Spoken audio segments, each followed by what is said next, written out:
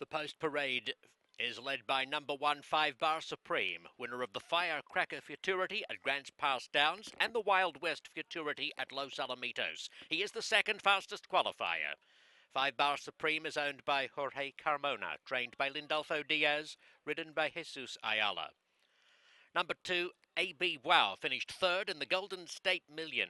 He's owned by Jamie Bryant, Melanie Brooks, and Linda Joyner, trained by Eddie Willis, ridden by Agustin Silva. Number three, Relentless, also trained by Eddie Willis, finished second in the Golden State Million Futurity. He represents Reliance Ranches and has the services of Justine Kleber. Four, Think Again Kev was third in the Kindergarten Futurity. He's owned by Keith Nellison, trained by Heath Taylor. Hosseini Casio won the 2017 2 million Futurity on J Fire Up.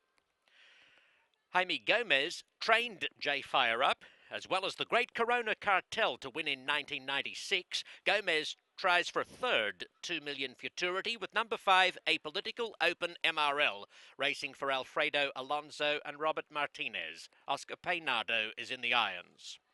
Number six, Southern Divine is the first of two fillies in the field. She was second in the PCQHRA Breeders' Futurity for Dunn Ranch. Monte Rosa trained Apollitical Patty to win a few years ago, and James Flores is the substitute rider. James Flores onto Southern Divine.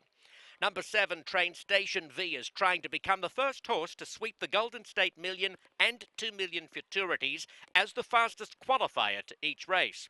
After winning last night's Champion of Champions with Flashback, Valeriano Racing Stables, Heath Taylor, and Francisco Calderon are poised to become just the second owner trainer jockey combination to win both races in the same year. Number eight, Check and Cartel, a stakes placed filly who is the second qualifier trained by Lindolfo Diaz. She's owned by J. Francisco Diaz. Jockey Ramon Sanchez is a two-time winner. Trainer Paul Jones is also a two-time winner, combining with Sanchez in 2009 with Good Reason SA. Jones trains number nine Optical Illusion for owner Jim Schlegel. The rider is Victor Salazar. That's the field for the Grade 1 in Station V's odds now 2 to 5. 5 Bar Supreme remains rock solid at 4 to 1. Double figure odds the rest. Optical Illusion coming back up into Gate 9. Ready again. Racing!